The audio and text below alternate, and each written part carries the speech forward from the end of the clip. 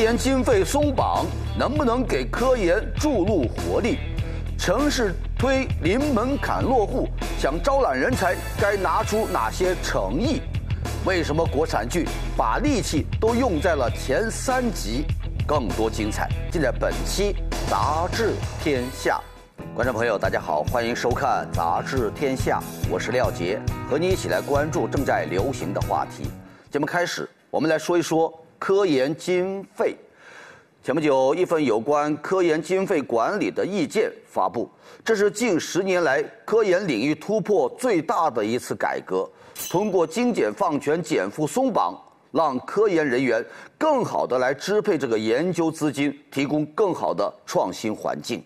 比如，以前是详细规定了科研人员的课题开销，大到几百万的设备，小到几块钱的一支笔。都得要详细列出来，而这一次的意见，除了五十万元以上的设备费，那其他的费用只需要提供基本的测算说明，那没有必要事无巨细的一笔一笔啊给它列出来。此外，如果需要购买新设备，或者呢原来预算当中的设备用不上了，也有更大的自主权，这呢就被业界形容为可以用打酱油的钱去买醋了。科研本身啊，就有很强的不可预知性，研究方向你不可能啊一开始就给它设定死。新的管理方式更有利于呢那些探索性比较强的科研项目。那另外一个变化呢，则是科研人员的报酬。那以前他们对经费的支配则相当的有限啊，每一笔经费都必须要经过财务部门的审核，科研资金。简单来说呢，可以分为两类，就直接费用和间接费用。直接费用呢，就是能够用发票报销的，像什么设备费呀、差旅费呀、资料费呀等等。那间接费用呢，则是给科研人员的绩效奖励。过去哈，一笔支出走哪一种渠道来报销，那是最费脑筋的事，也是科研人员反映最多的问题。审批手续太多。占用了科研人员大量的时间，而现在，科研经费当中的间接费用，也就是用于啊人员的支出，就打破了天花板。尤其是数学、理论、物理啊，那几乎不需要买什么研究设备，那间接费用呢，最高可以达到百分之六十。要我说，科研经费松绑，就是让科研人员更有活力，科研的创新更有。动力。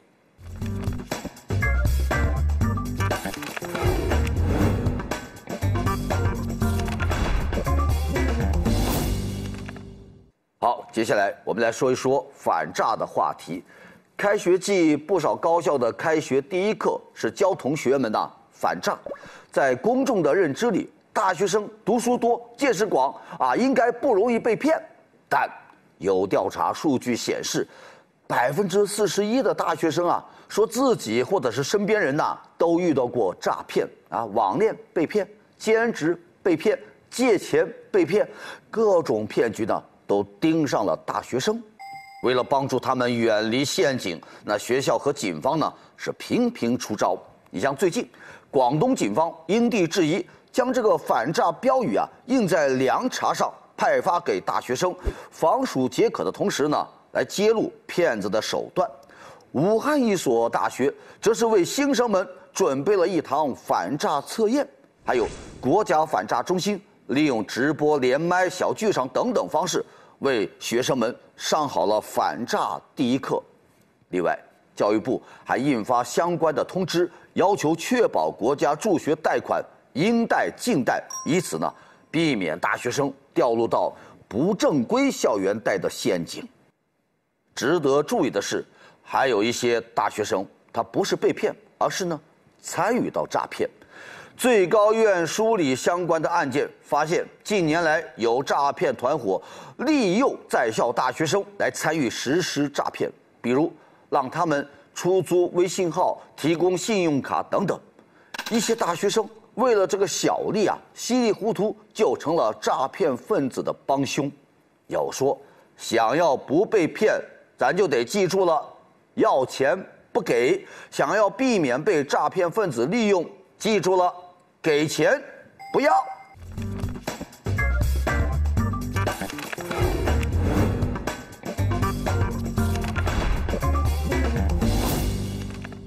好，接下来是中国新闻周刊文章标题：又一重点城市推零门槛落户。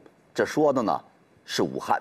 最近，武汉发布了一份关于落户政策实施意见，规定男性不满四十五周岁，女性不满三十五周岁，在新城区、功能区就业创业满六个月就可以落户，这几乎就是零门槛了。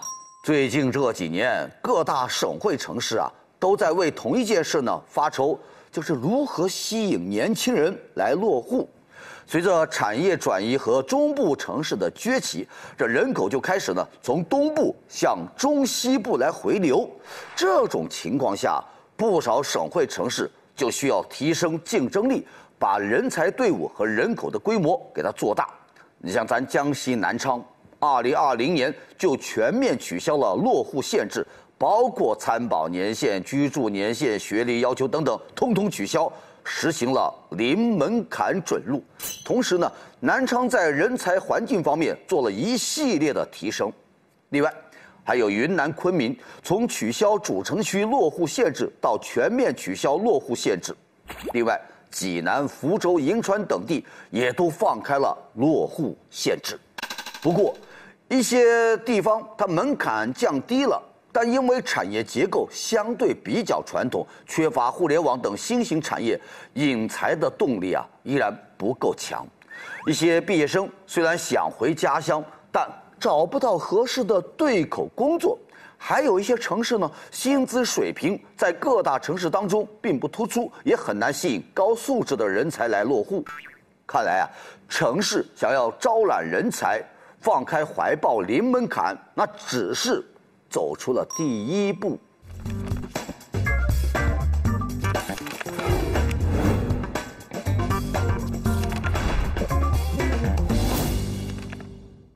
好，接下来进入到板块杂志标题来看最新一期的《新周刊》文章标题：陕西英文名让网友闹乌龙。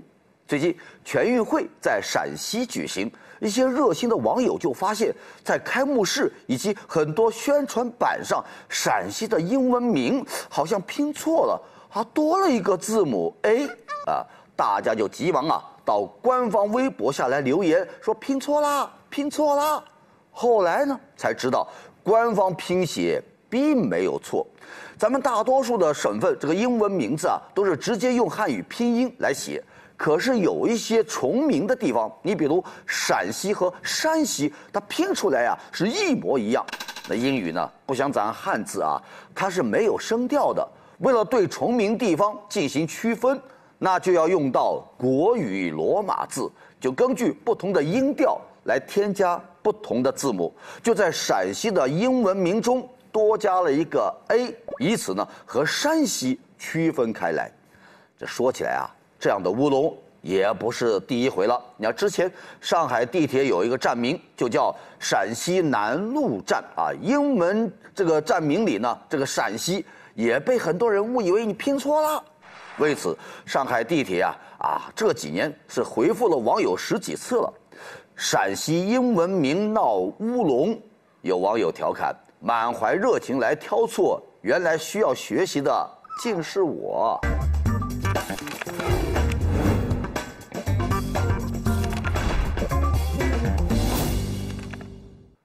好，接下来进入到板块杂志图片。江西新余仙女湖迎来繁忙的秋捕期，这是工人们正在用巨网进行捕捞，保证了捕大留小，实现了生态循环，是年年有余。重庆街头出现了动物森林。树绘创作者根据树木本身的结构，在树干上绘制出熊猫、梅花鹿、北极熊、大象等动物的造型，个个活灵活现，这也叫艺术。济南降雨，月牙泉再现月牙飞瀑景观，泉水飞流直下，跌落水面，十分的壮观，吸引不少市民冒雨打卡，惊呼“有生之年系列”。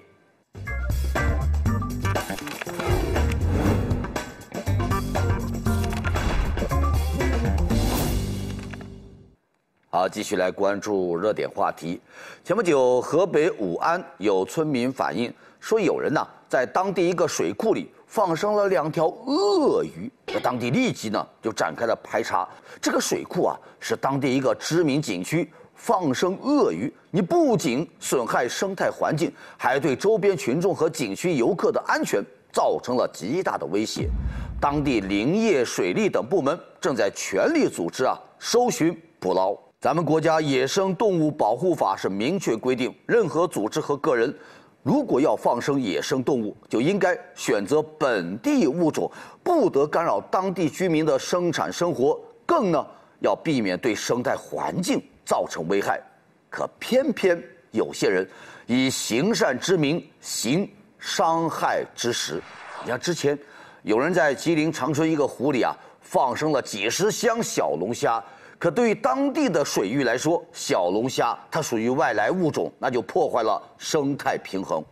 咱们国家法律规定，随意放生野生动物，如果造成他人人身财产损害的，或者危害生态系统的，要依法承担法律责任。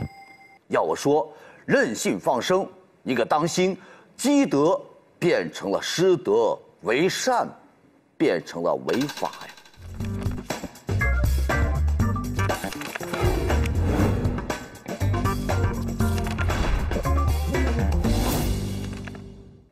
继续热点话题。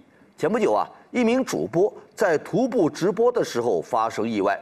据警方通报，当时呢，他一边直播，一边拉着这个助力车行走在国道上。随后，助力车失控，导致自己呢被碾压身亡。警方特别提醒，很多徒步者推的这个助力车都是由非机动车改造的，不允许上国道。就呼吁大家呀，要注意安全。近一段时间，在短视频平台上，这种徒步的主播扎堆出现。这些主播呢，推着一辆这个助力车，扶手前挂着手机的支架，边走路边直播。最开始呢，这方式堪称是流量宝典啊，随便走一走，播一播，那直播一场，那粉丝的数量就蹭蹭蹭往上涨。后来，越来越多的主播扎堆入局，单纯走路已经吸引不到什么人气了。那主播为了吸引流量，就开始呢剑走偏锋，有的穿人字拖徒步，有的呢制造危险的场景，比如到大石头上来跳舞，双脚不到十公分的地方那就是悬崖呀，让人看的是一身的冷汗。户外徒步存在一定风险。有人观察过这些主播的帐篷，它都不太符合专业要求。一场大风或者是冰雹啊，就能给它吹翻了，给它砸烂了。万一在路上碰到迷路、坏天气、信号差，就很容易有生命危险。要我说，生命只有一次，不要让说走就走的冒险成了危险四伏的流量追逐啊！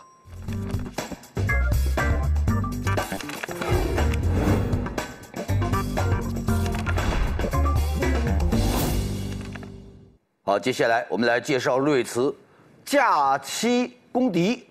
这公敌是什么呀？排队。刚刚过去的中秋假期啊，出门在外的小伙伴不是在排队，那就是在排长队啊。景区游玩，每个项目呢都排到怀疑人生啊。这网红店吃个饭，提示就前面还有五百桌。当然了。别以为不出门就能远离排队哈！你去逛一个商场，依旧要排队；就算在家玩游戏，服务器呢也提示网络繁忙要排队。对于排队排到想哭，有人就暗暗发誓，下次放假咱哪也不去。但有人就觉得排队的时候有多苦，排到了的时候那就有多开心。看来呀，面对排队这个假期公敌。那也是如人饮水，冷暖自知啊。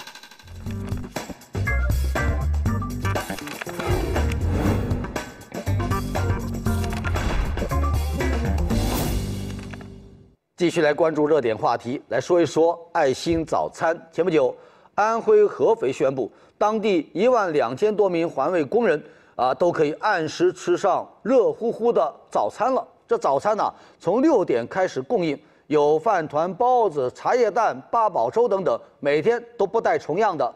除此之外呢，这节令性的食物，呀，端午节的粽子啊，中秋节的月饼都供应充足，保证环卫工人能吃饱吃好。之前，当地这个城管局呢就印发通知，要求各单位在对道路清扫项目招标的时候呢，你就一定要落实免费早餐标准，不低于每人每天六块钱。早餐这个落实情况要纳入到考核内容。现在合肥已经实现了，安徽啊还发文要在全省范围来推广，不只是安徽，你看之前河南等地也为环卫工人提供爱心早餐，由各区环卫局统一配送到各大站点，方便环卫工啊来使用。环卫工是城市的美容师，某些环卫工人从凌晨四点就开始工作。根本来不及吃早饭，现在有了爱心早餐，一个热包子，一口热汤，那都是来自城市的温暖。要我说，环卫工爱心早餐，暖胃又暖心。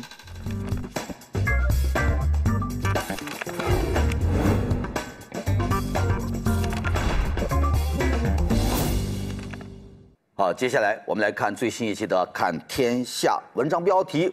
那些让观众熬过前三集的国产剧到底好不好看？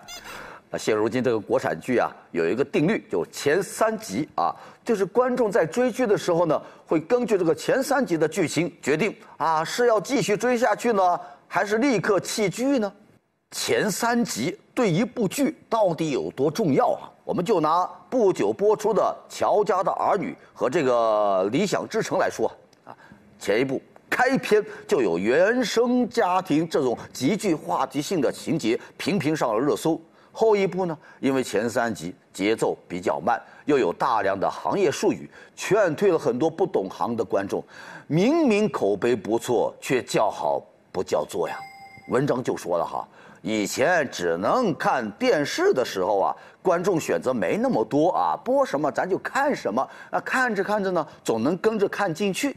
但现在不一样啊，各大平台一天有好几部剧集啊同时上线，那你这个选择就变多了，也就更挑剔了。如果你前三集不能吸引眼球，那是果断弃剧。此外，对于不同的题材，这观众呢会有不同的要求。